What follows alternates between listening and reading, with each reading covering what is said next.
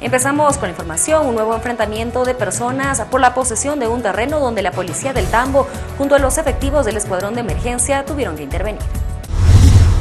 La disputa por este predio enfrentó a una veintena de personas con piedras, fierros y hasta disparos. La policía del escuadrón de emergencia y la comisaría del Tambo llegaron para detener la pelea que se había provocado en la cuadra 15 del Girón Progreso, cerca de la urbanización Amelio Yague. Han hecho un disparo y nos han asaltado.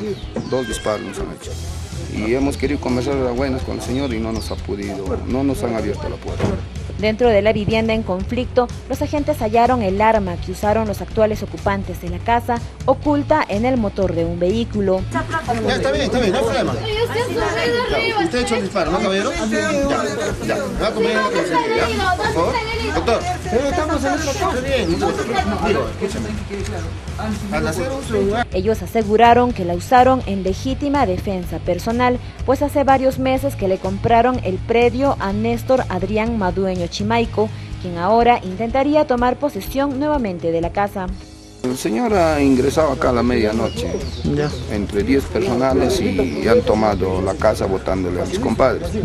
Lo, han, lo han botado impudentemente, lo han retirado, han metido su carro y la moto lo han sacado afuera. Para que no haya robo, lo han vuelto a meter la moto. Entonces mi compadre me comunica en la noche a la una y no podíamos transitar porque nosotros vivimos en el centro de Moncayo. Le ha vendido, pero sin embargo él ha agarrado, yo estaba viviendo acá ya, yo estaba durmiendo acá en las noches. Y luego el día domingo, el agarrado se ha trasladado acá a la casa como si fuera dueño, después de habernos vendido a nosotros. Isabel Figueroa resultó herida en el enfrentamiento. Ella no entiende cómo el propietario anterior pretende ocupar la casa que le vendió a su hermano. El fierro me han golpeado, este, rompiendo esta puerta. ¿Con un fierro le han golpeado? Sí, y me he cortado la mano. El caso terminó en la comisaría del Tambo. Los agredidos denunciaron al vendedor del predio por presunta estafa.